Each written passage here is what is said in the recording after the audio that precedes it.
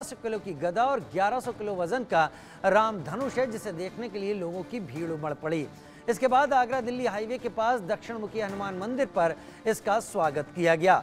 इस दौरान विशाल गदा की आरती उतारी गई। 26 फीट ऊँची ऊँची और 12 फीट चौड़ी ये गदा अयोध्या के राम मंदिर ले जाकर स्थापित की जाएगी। यही वो गदा है जिसकी लंबाई 26 फुट और चौड़ाई 19 फुट बताई जा रही है। दिखाना चाहूँगी अपने दर्शकों को यही वो गदा है जिसको पंच धातु से बनाया गया है और आप देख सकते हैं बड़ा विशाल रूप आकार ये गदा का दिखाई दे रहा होगा। बड़ा ही सुंदर है।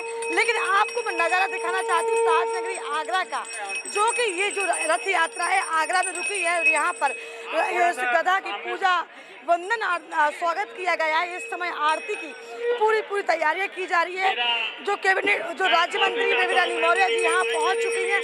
लेकिन आपको दिखाना चाहती हूँ जो यात्रा राजस्थान के, जिसके नेतृत्व निकाली गई है, वो दीदी सरस्वती देवगढ़ के नेतृत्व में ये शिवगंज सुमेरपुर राजस्थान आगरा पहुँची है अपने कैमरा पर्सन से कहना चाहूँगी तस्वीरें आपको दिखाना चाहती है। यही वो गदा है जो सीधा अब यहाँ से अयोध्या के लिए राम रथ यात्रा यहाँ से प्रस्थान कर जाएगी और सोलह तारीख को ये अयोध्या में जाकर इस गदा और भगवान रामचंद्र जी का धनुष स्थापित कर दिया जाएगा।